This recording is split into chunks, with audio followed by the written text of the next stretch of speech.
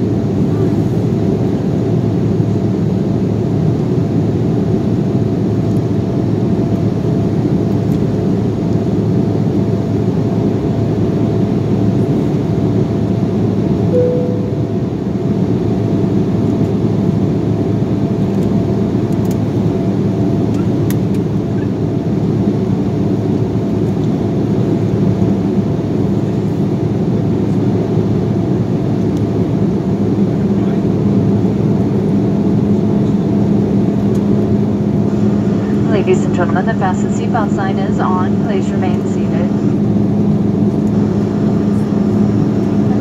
When the captain turns the sign off, you may move about the cabin. When you're in your seat, please keep your seatbelt fastened in the event of unexpected turbulence, and please be careful when opening overhead compartments. We ask that you use the lavatory located in your cabin. Please don't stand or gather near the galleys and lavatories. For everyone's safety, make sure your personal belongings are clear of the aisle. You may now use all approved personal electronic devices. We're pleased to offer personal device entertainment, one of our United private screening options. To watch free movies and TV shows on your tablet or phone, first connect to the United Wi-Fi network, then open the United app and select entertainment from the home screen. You can find more information on the card in your seat pocket of the Hemispheres magazine. This does include instructions on how to watch programming on your laptop. Wi-Fi internet access is also available on this flight. After you connect to the United Wi-Fi network, go to unitedwifi.com. You can access united.com and the United app free of charge, where you can check flight status and more.